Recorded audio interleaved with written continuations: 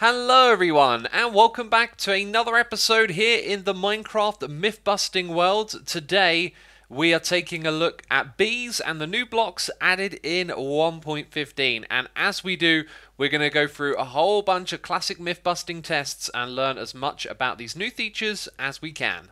We're going to kick this off with the classic spawning tests. We're here in the spawning chamber. I've got my pads ready and there are four new blocks we need to try out. Additionally, we're also going to try out these two when they're full of honey. Very unlikely that will change the result, but it's worth doing. Now, if you haven't seen these tests before, we create a dark room environment and then hostile mobs will spawn on the block if that is possible. So we have no spawns and this is no surprise because the honey block isn't a full block on all of its sides and mobs like flat surfaces to spawn on. The honeycomb block, for example, is a full block, and as you can see here, mobs are perfectly capable of spawning on top of them. Here we can see that mobs are spawning on top of bees' nests, and no surprises here with the beehive.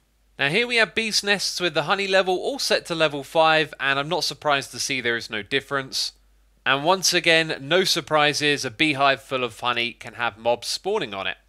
So no surprises there, and probably none in this next classic myth-busting test. We are going to see what blocks the beacon beam can shine through. On the left are all the blocks that it can't, on the right and behind are all the ones that it can, and you can probably predict these. And thanks to the optimizations made to the beacon beams, and them updating instantly, we can quickly do this together. So this is probably exactly what you were expecting, right?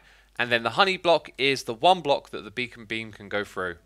Our next classic test is finding out how we instant mine these new four blocks. First of all, the honey block, to no surprise, is like the slime block. It can be instant mined with any tool or even with your fist. The honeycomb block actually has no tool whatsoever. The default mining speed is this, regardless of what tool you use or what enchantments you have. What can speed it up is having the haste effect. So here I have haste 2, and this allows us to mine these blocks a little bit faster, but there is no way to instant mine them. Then we have the beehive. The tool of choice here is the axe to break the beehive faster, and you'll need efficiency 4 to instant mine it. Now if you have efficiency 3, you can instant mine it with haste 1, and efficiency 2 and haste 2 will also instant mine it. Now the bee's nest is like a weaker beehive. It too uses the axe to be broken, but you only need efficiency 1 on a diamond axe to instant mine. And with haste 1, you can also instant mine this without an enchantment on your axe. There is however a catch, when we break the beehive it actually drops the block, so even though this one is easier to mine, you need silk touch to pick up the bee's nest. Now there is just one other classic myth to do for these new blocks and that is seeing if Endermen are able to teleport them. So let's bring some Endermen in and immediately we can see that they teleport to the bees hive. Maybe not always successfully though. Things are probably not going to be any different with the bees nest. And I think one of them teleported. Yep, there we go. So they can teleport to that block. Then let's test the honeycomb block. Here we go. I think, yep, look at that. They can teleport to this one. And then what about the honey block? The only one with unique properties, so we may see something surprising here, but probably not is my guess. Yep, they can clearly teleport over to the honey block.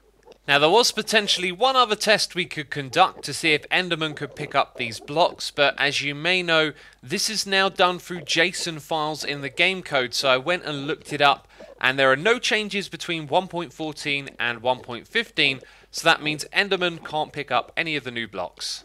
With those blocks out of the way, it's time to turn our attention to the bee, the one mob that was added in this update. We're going to do the classic test to see if we can use a fishing rod on it, attach a leash to it, or even use a name tag. And now it occurs to me that these pixel arts in front of us are kind of all outdated. In fact, all of the other pixel art things that I've done in the world are now outdated due to the texture changes. Let's not get distracted though. I put in some flowers so that these bees can be at home and not fly away like they tend to do when they've got no flowers to go to. First thing we can see is, yep, the fishing rod works with them. You can use them to move the bees around. We can also leash and drag them. I kind of knew this one already. If you've watched my update videos when they were first added, I think we saw that this was possible. And then last of all, the name tag, and you disappeared into the bee nest. Look at that. You can use a name tag on them and you can even flip them upside down. and see their cute little legs. I don't think you'll find what you're looking for down there, my friends. but anyway, it is often on this platform that we also go and attempt to put the bees in a boat. And I found a way of doing this actually. If you just patiently wait here and hold down right click, there we go. Ha! See? The bee can go into the boat. I guess it's got to like fly into it. So this would be applicable if you needed to travel across an ocean. You might want to get a bee inside of a boat. And yep, there you go. So once it collides with it, it goes inside of the boat and then you can transport it elsewhere. Next classic test is the lightning strike test. Yes, it's unbelievably cruel, but we're going to summon a bee and then two ticks later it gets struck by lightning. That looks so horrible. I can't believe we just did that.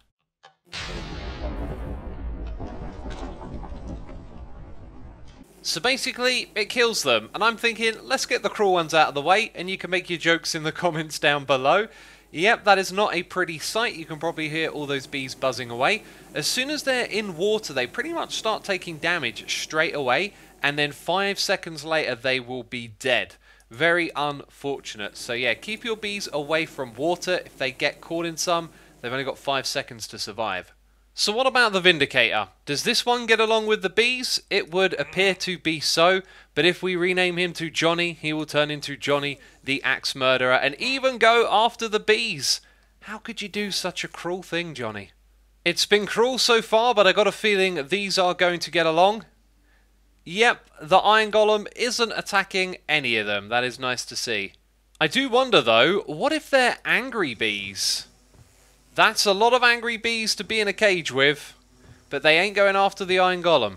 Okay, let's let them out of their cage. I'm in survival, by the way. And yep, yep, they'll come after me. So it could be that when they're angry, they'll only go after a player. Sandstone Testing World. This can only mean one thing. The Wither. And to no one's surprise, the Wither is going after the bee. And attacking it did it look like the bee was going after the Wither? In fact, yes, they're all angered. They're going after the Wither together. Oh, I wonder if they can kill it. This is crazy. Okay, bees versus Wither. It's on. Okay, I am actually summoning bees directly next to the Wither and then also killing them if they get out of range. Now we've learned that the bees drop Wither roses. this is an absolute storm right here and the Wither is actually taking damage. It might be possible in some strange way, just probably not possible in vanilla Minecraft, you know, survival Minecraft. We are about to hit the halfway point and things could really change from here because now the Wither can't fly up. Oh, look at this. I think it's actually going to happen. Definitely not possible in survival Minecraft though, that's for sure. This is surely it now. Oh, there you go. The bees did it. They killed a wither. And look, it dropped a Nether Star. That, my friends, was hilarious. Totally and utterly hilarious. So back over at this testing facility, we check out different potion effects on the mobs, and the common ones are jump boost, levitation, and slow falling. Now I'll tell you that two of these don't do anything to the bees, but one of them does. Can you guess what it is? Because it is quite amusing. Let's summon in a whole bunch of bees and watch how they just gracefully do nothing but float upwards into the sky. They can't come back down again. Yes, this is the one potion effect that has a big change on the bees, and it is levitation. The testing that I am conducting here, using a teleport to hold the bee in the same location, tells me that it's not going to get angry when a stray or a skeleton shoots at it, and it doesn't get angry at the snow golem either, and if the stray wasn't here, the snow golem wouldn't try to attack the bee. It is the same dealio for the pillager too, so any mob that attacks another with a projectile, if it hits a bee, the bee doesn't get angry at them.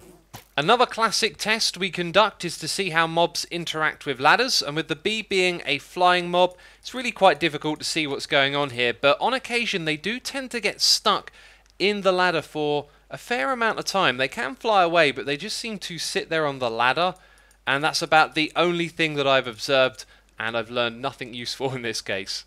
And last of all of our tests, I've been trying various different methods to sit a bee on top of the turtle eggs at different heights to see if they can trample it and in all instances, I haven't seen this happen at all. So I don't think having bees near your turtle eggs is going to be a problem.